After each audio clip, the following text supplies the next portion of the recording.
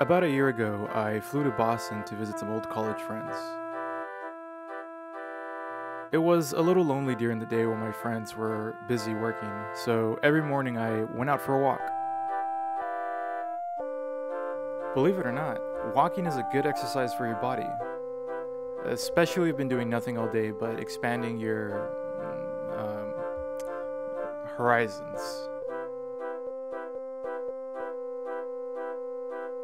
It can also make you very hungry, so be on the lookout for places to eat while you're on your walk.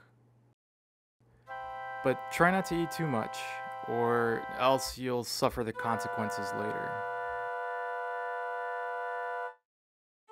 A good walk is aimless and has no destination. Sometimes you turn left.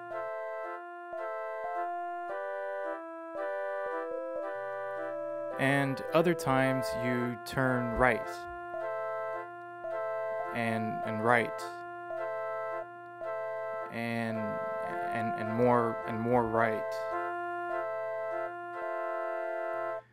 And on rare occasions, you find yourself walking forward at a graduation ceremony held two years after you graduated because of a global pandemic.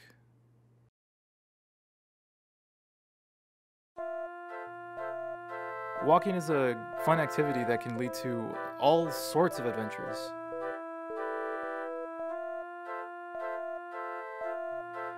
If you keep your eyes peeled, you might come across some treasure hidden in plain sight.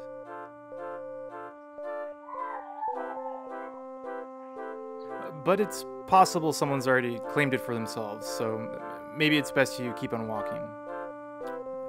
Don't want to cause any trouble. Who knows, you might even make a new friend along the way. Then again, they they might just not be the talkative type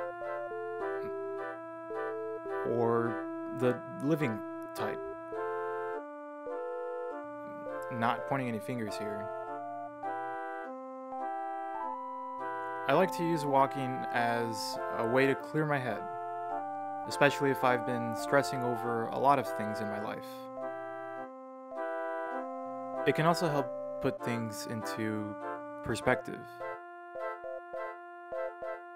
There's people out there who have it a lot worse than me. But sometimes on a walk, I'm reminded of the painful weeks I spent in isolation during the early months of the pandemic. Jumping from one hobby to uh, another. I even tried to learn how to make a website, but I couldn't make it past the first step and gave up. After making a quick stop, I walked back to my friend's house where I was staying for the week. I spotted one of my friends in the backyard. He was trying to feed chocolate to the neighbor's dog.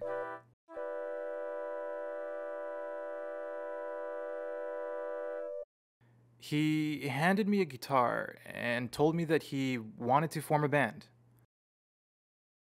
I thought it'd be nice to pick up a new hobby, so I decided I'd give it a try. We rented a rehearsal space in Boston for a few hours and invited two of our friends to join our hot new band. As we were driving to the studio, images of my musical heroes, like the Beatles, flashed in my head. Maybe I too will someday join the ranks of John Lennon and George Harrison.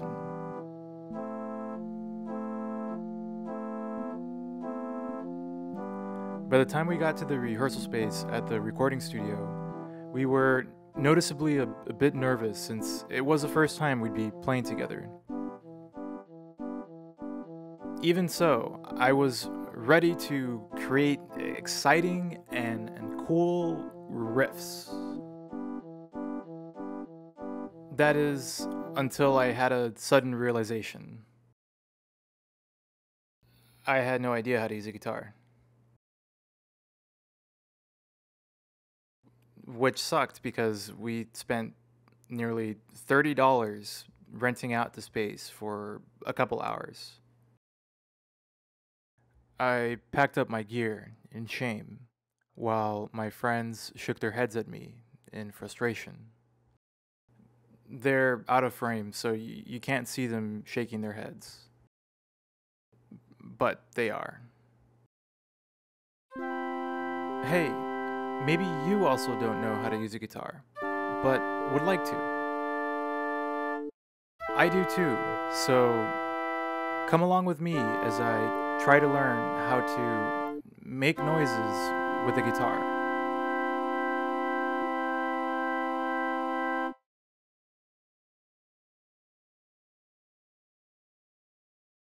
Before we start, I have something I need to say. This isn't a video that will teach you how to be an incredible guitar player. There's great resources online that claim to do that. I'm just here to show you how to make noises with an instrument. Whether those noises are good or not is up to the listener. With that out of the way, let's get started. If you want to make noises with a guitar, you just have to follow these six simple steps. Step 1 Get a guitar. You can find them at your local guitar shops or online marketplaces like eBay, or strategically placed under your camera.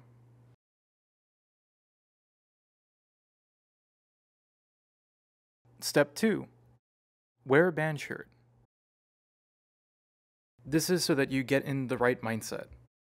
If you don't have one, you'll have to buy one. Something people don't generally know about musicians is that they can't make music without wearing a band shirt. Step 3 Steal, acquire some guitar pedals. These bad boys will change the shape of your noise's waveform in cool and interesting ways.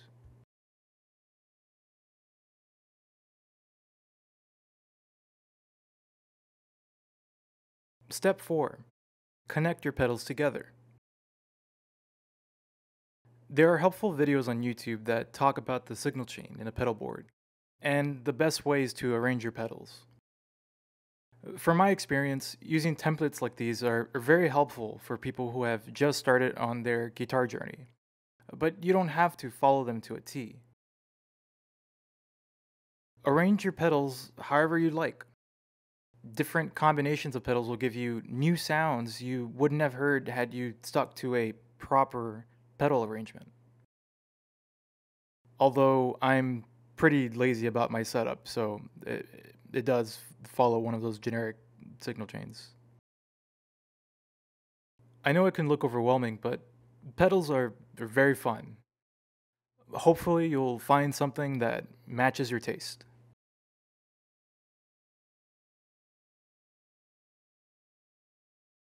Step 5 Form a connection between your guitar, pedals, and amp. On their own, you can't make noises with only a guitar, pedals, or amp. But with the combination of the three of them, you can. Well, I guess that's not true since you can make sounds by plugging the strings of a guitar. And amps make a lot of rumbly noises when they're not connected to anything. And you can throw a guitar pedal at someone and, and that'll make a sound. In any case, if you want information to flow between these devices, you'll need some instrument cables to connect them to each other. Cables are like umbilical cords that tie them all together. When a cable is unplugged, a connection is severed. So check this first if you're troubleshooting any sound problems.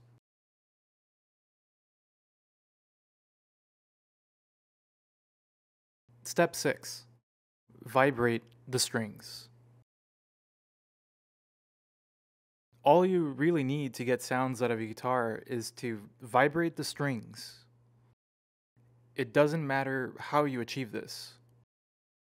Some people use a guitar pick, others use magnets.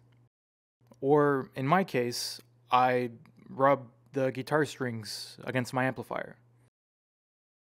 Anything that will get the strings to vibrate and induce a signal in your chain is fair game. For the rest of the video, I'll show you an example of all the sorts of fun sounds you can make with the guitar, some pedals, and a good old-fashioned amp. I hope you enjoy it.